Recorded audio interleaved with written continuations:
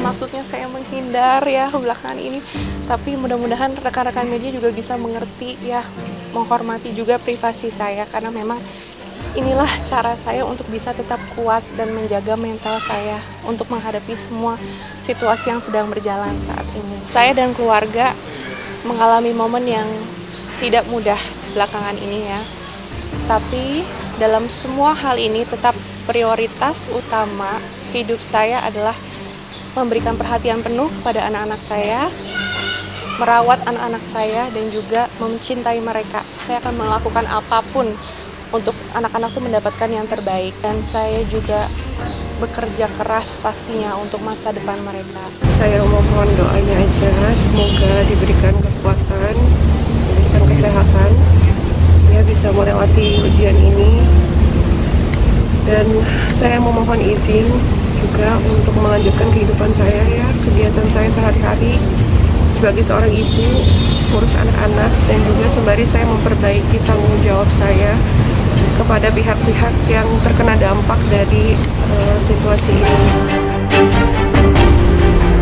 Saya nggak tahu apa-apa. Aduh, saya bukan orang kepo, beneran ya. Jadi saya nggak tahu, saya hanya bisa mendoakan saja. Ya, saya mensupport apa pun yang terbaik buat mereka berdua, gitu ya.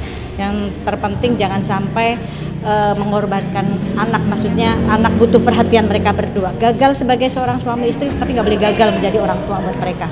Sebagai sahabat uh, ya pasti mensupport apa yang sudah menjadi keputusan Ibel kan gitu. Karena kan mereka yang menjalani ya kita kan hanya penonton aja ya kalau penonton itu jangan ngegrecokin ya kan apalagi jadi kompor jangan udah biarkan mereka dengan mereka yang menjalani, mereka yang bahagia, mereka yang ngerasain, udah kita doain aja. Ibel tuh tidak pernah membuka aib siapa pun tuh orangnya begitu. Jadi uh, lebih kepada ya udah itu keputusannya terbaik. Mungkin apa pun keputusannya nanti ya saya aja bisa mendoakan gitu. Saya sama Ibel tuh ada kajian rutin. Saya Ibel Virus itu kajian rutin yang memang membahas tentang kitab fikih dan segala macam. Jadi uh, saya tahu Ibel semakin ke sini semakin lebih uh, mendekat ke Allah, pengen belajar lagi gitu, lebih menjadi dia udah soleha tapi pengen jadi wanita yang lebih soleha lagi, menjadi ibu yang soleha lagi.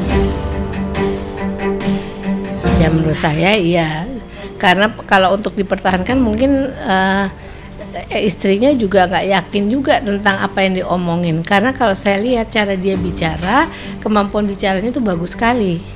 Ya tetapi apa yang dibicarakan yang diomongin itu akan bisa dipegang itu pertanyaan kedua. Jadi harusnya uh, kalau kita menyatakan sesuatu kita bertanggung jawab terhadap yang kita nyatakan. Kalau misalnya kita bilang misalnya gini saya pokoknya akan berupaya untuk keluarga saya entah jadi supir gojek atau apa make it sure bahwa itu terjadi tapi kalau ini kan mungkin tidak bisa dipertahankannya oleh istrinya gak yakin apa orang ini akan melakukan apa yang dia katakan apa tidak gitu. Kalau menurut saya bukan insting, tapi dia berdasarkan data-data kehidupan dia ya melihat suaminya bahwa uh, ada banyak hal yang tidak bisa dipegang sehingga ada banyak hal yang ditutupi dari diri orang ini tentang kelamahannya sehingga itu yang membuat dia mengalami masalah seperti ini kan si suami itu. Nah itu yang kemudian dibaca atau di di apa di dilihat sehingga menjadikan bagian dari pengambilan keputusan. Pas nyesalan itu datang belakangan pasti iya. Tetapi proses dia untuk menahan mengontrol dirinya nggak ada. Padahal subhanallah Allah itu membuat manusia itu orang yang bisa mengontrol diri. Beda dengan hewan kalau dia mau kencing di mana-mana. Tapi kalau manusia tuh bisa kontrol misalnya untuk misalnya membuang air kecil dia akan kontrol dulu sampai keluar ruangan situasinya sudah dia uh, di tempat yang cukup pas gitu baru dilakukan. Tapi kalau kontrol dirinya tidak ada tidak bisa mengontrol dirinya impulsif aja ya kalau udah saya sedih saya gini saya melakukan ini nggak akan selesai selesai masalahnya. Dan ini kalau nggak bisa dia lakukan sendiri untuk membantu dia untuk menghadapi masalah. Karena masalah dalam hidup tuh nggak ini kan baru sebulan. Ada masalah lagi kemudian jadi udah jadi kayak gini. Bayangkan di dalam kehidupan nanti ada berapa banyak masalah lagi yang harus dihadapi. Kalau dia tidak tough tough itu apa? Tangguh ya maka akan jadilah seperti ini.